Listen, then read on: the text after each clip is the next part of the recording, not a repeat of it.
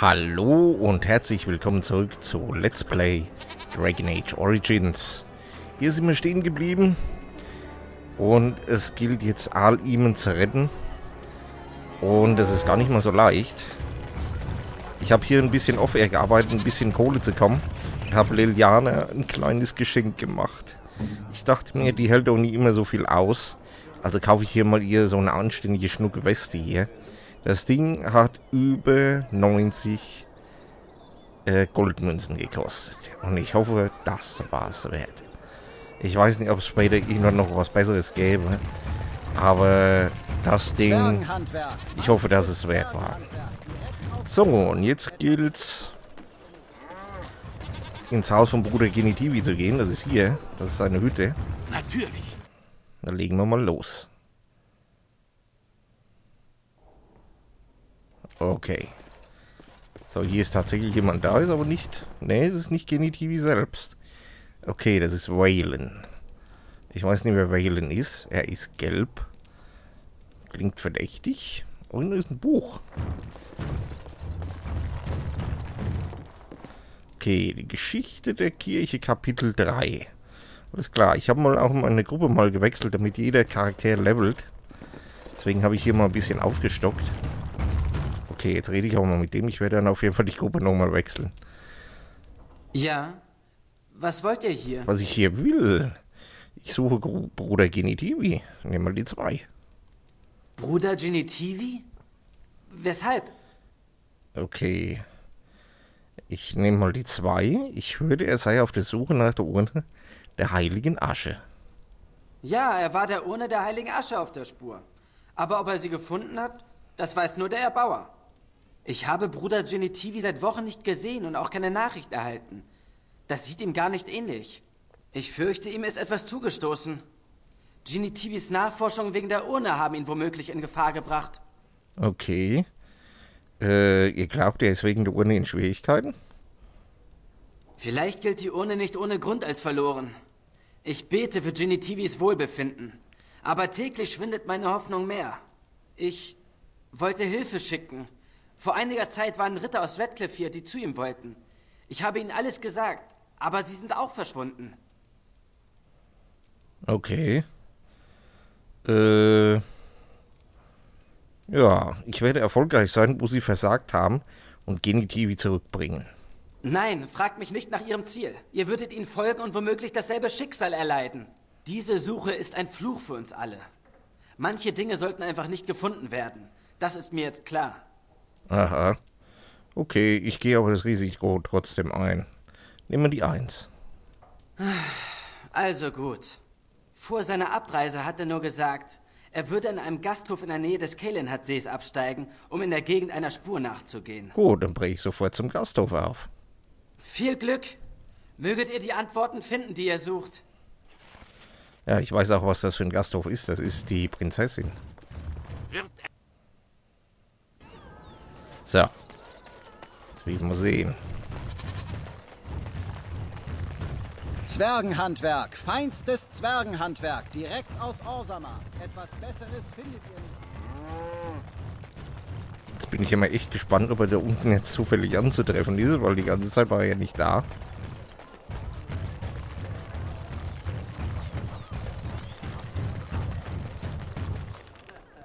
Okay, raus. Äh, jetzt gehen wir schnell ins Lager. Huch! Was ist jetzt los? Hier ist Kruste. Oh Gott. Du hast das auch gerade gesehen. Das Game hat einen Schlag. Das Game hat einen bösen Schlag. Okay. Das war eigentlich nicht so gewollt, dass das hier passiert. Darf ich darf das Game mal wieder platt machen. Gruppe sammeln und weiterziehen. Ja. Gut, nehmen wir wieder die altbewährte Gruppe. In der Tat. Unbedingt. So, wunderbar. So, und jetzt gehen wir zum Hafen vom Kallenhardsee. Und ihr seht das hier. Das ist die dunkle Brot. Das ist die Kruste des Todes, die sich hier schön in Ferelden breit macht. Und ist schon ziemlich übel, ne? Und Redcliffe ist, na gut, ist noch einigermaßen entfernt. Flameth City ist natürlich nicht davon bedroht, aber es ist trotzdem böse.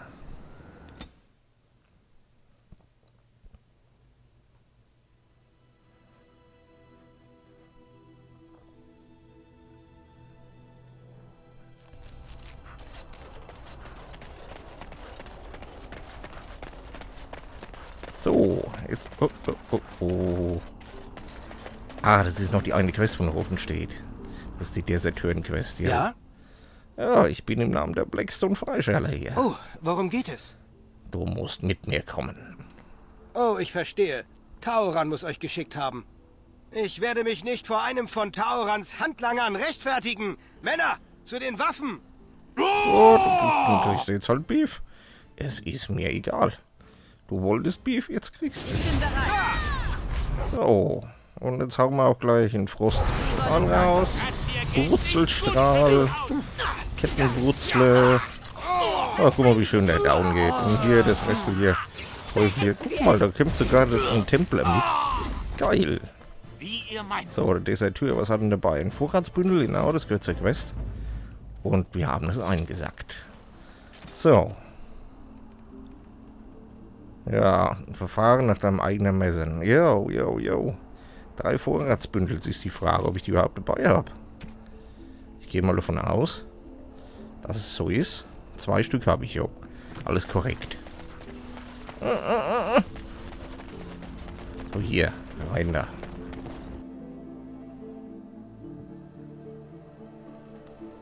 Oh, wir haben schon wieder den Bug. Was ist denn das für einer? Larana. Ja? Oh ja, äh, ich habe hier einen Brief für dich. Gut. Lasst mich mal sehen. Was hat er getan, um das zu verdienen? Ich weiß es nicht, aber halt... Ist halt was schiefgelaufen. ich kann es nicht ändern. So, hier, Wirt. Willkommen zurück in der verwöhnten Prinzessin. Was kann ich heute für euch tun? Äh, gibt's hier einen Bruder Genitivi? Bruder Jenny? Nein. Nein, natürlich nicht. Nie von ihm gehört. Das klingt so komisch, sei dir sicher. Ich kenne jeden, der bei mir absteigt, und von dieser Person habe ich noch nie gehört. Okay. Ich glaube, ihr sagt mir nicht alles. Obwohl, er wirkt nervös. Nimm die zwei. Warum sollte ich nervös sein?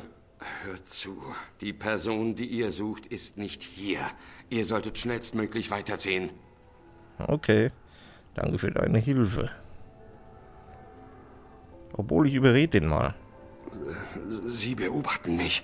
Ich kann nicht offen sprechen. Dreht euch nicht um und dämpft eure Stimme. Aha. Sie suchen jeden, der nach Bruder Genitivi fragt. Ich soll dann tun, als sei alles in Ordnung und leugnen, den Bruder oder die Ritter je gesehen zu haben. Okay, wer beobachtet euch? Ich weiß es nicht. Ihr solltet euch vorsehen und sofort wieder gehen. Ich weiß nicht, was den Rittern widerfahren ist, aber es war bestimmt nichts Gutes. Okay. Danke, ich werde vorsichtig sein. Lebt wohl und möge der Erbauer auf euch herabblicken. Alles klar. Dann möge es so sein. Dort sind Seit wann ziehen wir den Ärger eigentlich so an? Gehen wir auf die Oberansicht. So. Oh Gott, da ist ein Kultistenführer dabei und lauter, lauter Teufelchen. Gut. Dann kriegt der jetzt als erstes Beef. Verstehe. Hauen wir das jetzt rein. So, jetzt geht drauf, geht drauf, geht drauf. Muppes, zerfleisch ihn. Was? Brutus. Brutus Muppes. Muss ihn sofort zerstören. Sehr gut, sehr gut. Ah, guck mal, wie schön die down gehen. Ja, jetzt die nächsten. So, und jetzt drauf auf den Krüppel. Jawohl, und weg ist er. Hehehe. Tja, hättest du mich in Ruhe gelassen. Aber das Gesindel wollte halt wieder nicht hören. Prunkrüstung. Äh, lol, die ist auch irgendwie verflucht. Was will ich denn damit, wenn das Ding sowieso nichts taucht? Hm. Ist auch nicht viel besser. Ja, nehmen wir es mit. Kein Wunder, wenn die gescheit ausgerüstet ist, dann nehmen wir gleich als erstes um. Eieieiei. So, jetzt rein da. Jetzt wird richtig gefragt. Gibt's ja nicht. Und immer diese äh, komische Bug-Anzeige. Ihr habt euch um sie gekümmert. Oh, Erbauer, ich dachte schon, dieser Albtraum würde nie zu Ende gehen. Herzlichsten Dank. Sie sagten, Sie töten meine Frau und meinen Sohn, wenn ich etwas verrate. Wisst ihr, wer sie waren? Äh, okay, was kann ich hier auswählen? Nummer eins? Nein, aber das werde ich herausfinden. Zwei, seid ihr sicher, dass ihr nichts damit zu tun hattet? Und drei, sie wollen verhindern, dass ich Andrastes Asche finde. Nehmen wir die drei. Andrastes Asche? D die Legende? Beim Atem des Erbauers. Ich sollte vermutlich nicht fragen. Ich bin ja nur ein Wirt, der versucht, über die Runden zu kommen. Manche Dinge muss ich auch gar nicht wissen. Nochmals danke. Ihr seid hier immer willkommen. Okay. Dann ziehen wir mal weiter.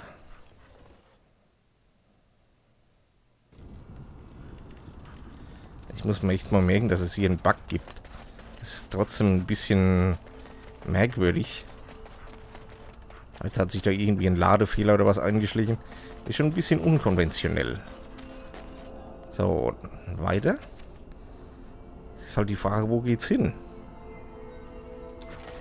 Ich guck mal nach. So, das machen wir zu. So, du wurdest vor der verwöhnten Prinzessin von Männern, einigen Männern überfallen. Hier geht irgendwas Verdächtiges vor. Könnte Wayland dich in die Irre geführt. Ja, genau. Jetzt muss ich wieder zurück zu dem anderen Knalli. Der kriegt auf jeden Fall jetzt sein Beef. Lass mich doch hier nicht äh, verballhornen. Das darf nur ich mit mir selbst machen. Und ausgewählte Leute. Und der war nicht auserwählt. Kann er sich jetzt aber ordentlich auf Beef gefasst machen, der. Magie soll dem Menschen dienen und ihn niemals... So.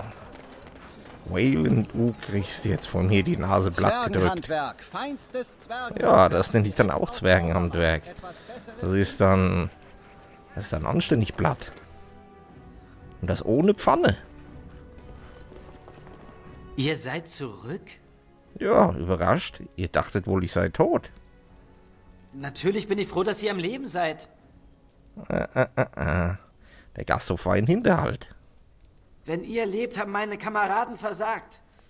Ich sehe ihren Tod in euren Augen. Ich kannte sie gut. Meine Brüder starben im Dienste von Andraste. Möge sie ihre Seelen zu sich holen und die eure der Vergessenheit überantworten. Ho, ho, ho. Für Andraste! Jo, genau, du Pupsnickel. Jetzt hat sich's ausgebieft. Gebt die Richtung Ja, und zack. Löscht sie auf. Was machst du jetzt? Und tschüss. Das. Böser Mann. Böser Fake-Whalen. Brandbombe? Lol, wenn er das Ding geschmissen hätte, wäre die ganze Bude in Flammen aufgegangen. Das war vielleicht nicht mal der echte Whalen oder so. Weiß der Geier. Was gibt's nicht hier? Ist das essbar? Nee, nichts essbar. Da ist noch ein Buch. Dauert nur einen Moment. Geil. Drachenkult. Was hat da vielleicht was damit zu tun? Gehen wir mal für einen Moment davon aus, dass ein hoher Drache nur ein Tier ist. Ein beeindruckendes Tier, ohne Zweifel, aber ohne wirkliches Bewusstsein oder Empfindungsvermögen. Immerhin wurde noch nie von einem Drachen berichtet, der versucht hätte, Kontakt aufzunehmen. Oder der irgendetwas getan hätte, was ein kluges Tier nicht auch zu Wege brächte. Doch wie kommt es dann, dass es in der Geschichte immer wieder sogenannte Drachenkulte gab? Der erste Drachenkult wäre ja noch erklärbar, insbesondere mit Hinweis auf die alten Götter des Reichs von Tewinter. Nach der ersten Verderbnis wendeten sich viele verzweifelte Bürger des Reichs der Verehrung von echten Drachen zu, als Ersatz für die alten Götter, die sie im Stich gelassen hatten. Schließlich war ein Drache eine Göttergestalt, die man tatsächlich beobachten konnte. Er war ebenso real wie der Erzdämon und Beweise belegen, dass er seine Kultisten auch beschützt hat. Weitere Drachenkulte können in Bezug zu jenem ersten gesetzt werden. Mitglieder des Kultes haben überlebt und die Kunde weitergetragen. Die Anbetung der alten Götter war ebenso weit verbreitet wie das Reich selbst. Derartige Geheimnisse können also in vielerlei Hände gekommen sein. Aber es gibt auch Berichte von Drachenkulten in Gebieten, in die das Reich nie vorgedrungen ist, bei Menschen, die noch nie von den alten Göttern gehört hatten. Wie ist das zu erklären? Die Mitglieder eines Drachenkultes leben in derselben Höhle wie ein hoher Drache. Sie füttern und beschützen seine wehrlosen Jungen. Im Austausch dafür gestattet es der hohe Drache, den Kultisten eine geringe Anzahl des Nachwuchses zu töten und so in den Genuss von Drachenblut zu kommen. Das Blut soll mehrere Wirkungen haben. Man wird stärker und ausdauernder, verspürt allerdings auch einen gesteigerten Wunsch zu töten. Auch Wahnsinn kann eintreten. Drachenjäger aus Nevarra erzählen, dass solche Kultisten enorm mächtige Gegner sind. Die Veränderungen sind mit Sicherheit eine Form von Blutmagie.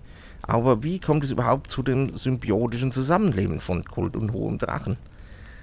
Woher wussten die Kultisten, dass sie Drachenblut trinken sollten? Wie hat der hohe Drache sie dazu gebracht, seine Jungen zu versorgen und wie konnte er sicher sein, dass sie es auch tun würden? Haben, ne, was ist hier los? Haben Drachen womöglich doch mehr Intelligenz, als wir bisher angenommen haben? Kein Mitglied eines Drachenkultes wurde je lebend gefangen genommen. Und die Jäger aus Nevada berichteten nur von wahnsinnigen Toben und absurden Geschichten über Gottheiten. Da die Drachen erst in jüngerer Vergangenheit wieder aufgetaucht sind, und das auch nur äußerst selten, werden wir die Wahrheit vielleicht niemals erfahren. Aber die Frage bleibt bestehen. Aus Flamme und Schuppe von Bruder Florian, Skola der Kirche oder Schola, Neuntes Zeitalter, 28. Jahr, Zeitalter der Drachen. Interessant, interessant. Das lässt mal wieder viel Raum offen für Spekulation. Wie es so schön heißt. Okay, hier ist ein, ein Ofen. Muppis, wie wär's denn, wenn du dich mal oben siehst? So. Äh, siehst du was Interessantes? Nichts. Oh. Schade. Gut, gehen wir hier weiter. Gibt es hier noch was? Es sind zwar Bücher da, aber anscheinend keine, mit denen man lesen kann. Ui, Genitivis Nachforschung. Ein Symbol von Andrast aus Stahl. Geil. So, finde die Urne. Bruder Genitivis Nachforschungen deuten darauf hin, dass sie sich in dem Dorf Haven in den Bergen im Westen womöglicherweise Hinweise auf den Verbleib der Urne finden lassen. Er muss nach Haven gegangen sein, um seine Suche dort fortzusetzen. Okay. Oh, oh. Leichnam. Der Leichnam des echten Whalen. Das habe ich mir jetzt gedacht. Das habe ich mir gedacht. Er wurde ersetzt durch irgendeinen Wechselbalg oder irgendeinen Doppelgänger einfach.